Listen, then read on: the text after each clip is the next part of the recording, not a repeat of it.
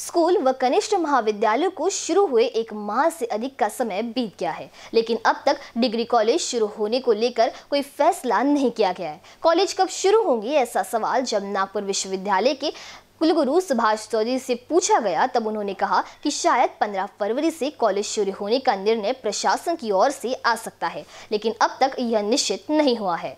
कॅम्पसबद्दल अजून महाराष्ट्र शासनाचा कॉलेजबद्दल काही हे आलेलं नाही आहे आणि झालेल्या चर्चेनुसार कदाचित या पंधरा फेब्रुवारीपासून कॉलेज चालू होण्याचे आपल्याला हे निर्देश येऊन जातील अशी अपेक्षा आहे.